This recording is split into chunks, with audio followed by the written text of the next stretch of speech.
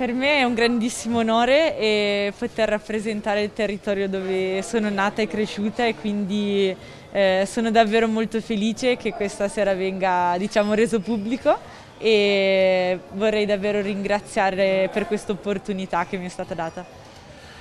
Vedere il Giro Donne su queste strade, sulle tue strade, quanto ti emoziona? Eh, credo sia davvero un'iniziativa bellissima, eh, Cuneo è sempre stata una città importante per il ciclismo, eh, il fatto che arrivi anche il Giro Donne quest'anno eh, è davvero una cosa molto molto importante secondo me per tutto il movimento.